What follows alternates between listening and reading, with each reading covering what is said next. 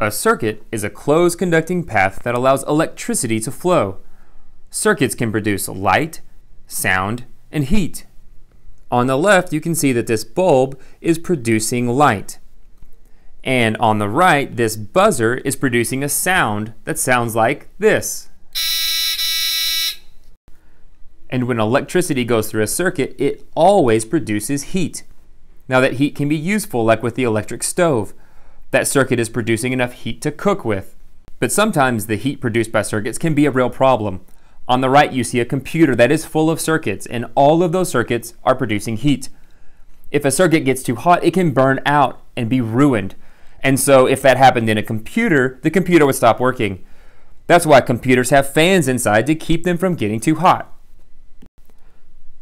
So, remember that circuits are closed conducting paths.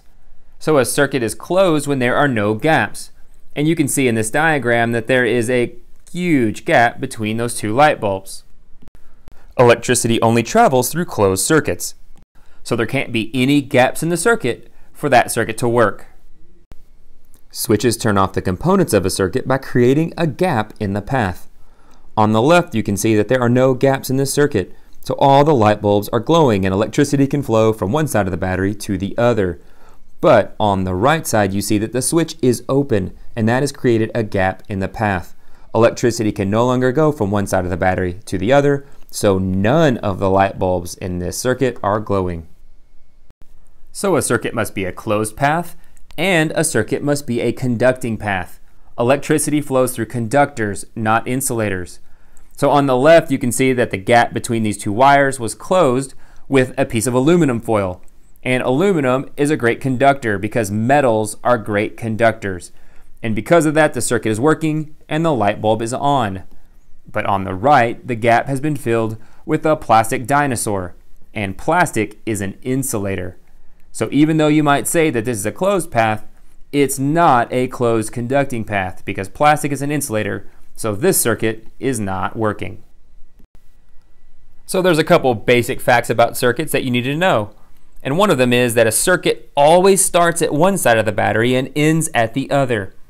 So you can see on the right that this circuit is working and that's because it starts on one side of the batteries and ends at the other.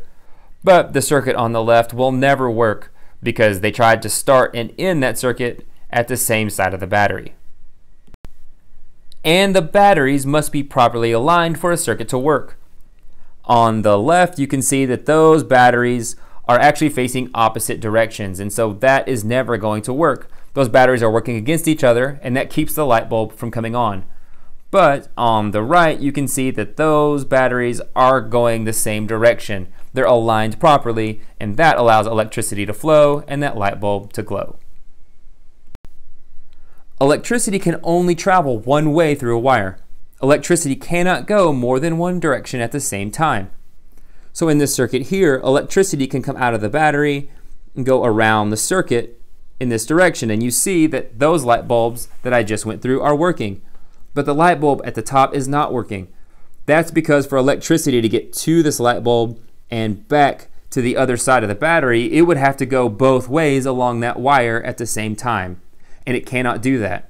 So this light bulb is not a part of the circuit and it will never glow. And you also have to understand that electricity must go through a bulb for it to operate. Now you can see in this circuit that electricity is traveling through the circuit and causing most of the light bulbs to glow. But the blue light bulb is not glowing. That's because electricity is going by the blue light bulb, not through it.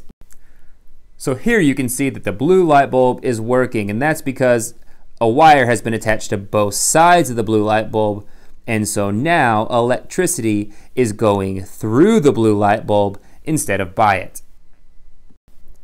So if you attach both of your wires to the same side of a light bulb, then it won't work because electricity goes past the light bulb, not through it. And if you only attach one wire to a light bulb, then that light bulb will not be a part of a complete circuit. Electricity can't go to the light bulb and from the light bulb on the same wire. So you need to attach your wires to both sides of the light bulb so that electricity is forced to go through the light bulb. And this is true for any component of a circuit. So bells and buzzers would work the same way. you need a wire attached to both sides so that electricity goes through the component of the circuit. So I hope this video has helped you understand some basic facts about circuits. Keep up the great work, and I'll see you next time.